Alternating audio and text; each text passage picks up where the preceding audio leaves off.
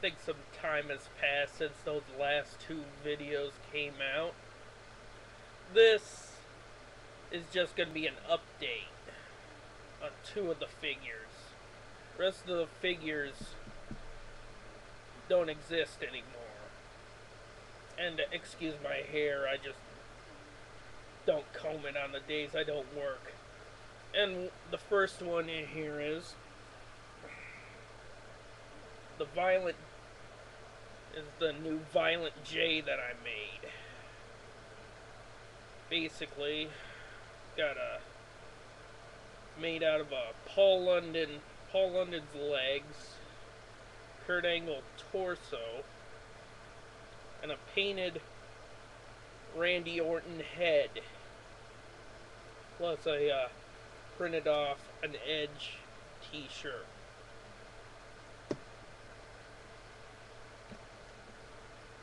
Next,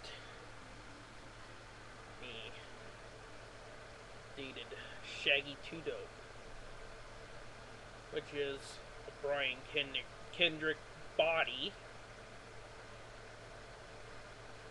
Hands came off of a Chris Benoit figure and a painted John Cena head. There, there, Shaggy Two Dope. And I got, and here's three figures that I just recently bought. They're off of the TNA Impact line. First, we got Kurt Angle.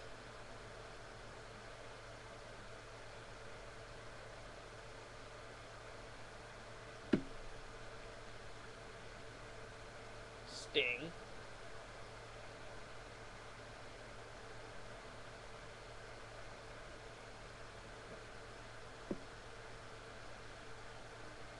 And Kevin Nash.